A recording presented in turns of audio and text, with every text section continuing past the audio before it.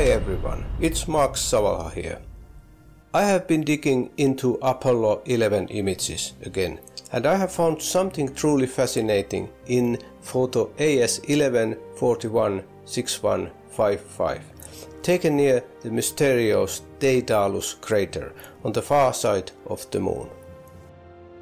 This image reveals not one but three distinct artificial looking structures side by side each with unique shapes and shadows that don't resemble natural lunar formations.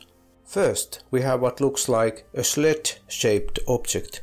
Its form is compact, symmetrical and casts a sharp shadow across the surface.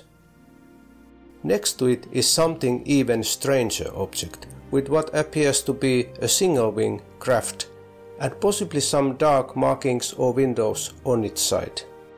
There is also a round darker feature on the nose cone. And in front of them, two flat rectangular panels lying in an X shape on the ground. It's as if they were part of a landing mechanism or maybe detached components. Here is a drawing I made to help show what's going on. These shapes are precise, geometric and stand out from the surrounding terrain. Let me know what you think in the comments. Subscribe for more lunar mysteries and I will see you in the next one.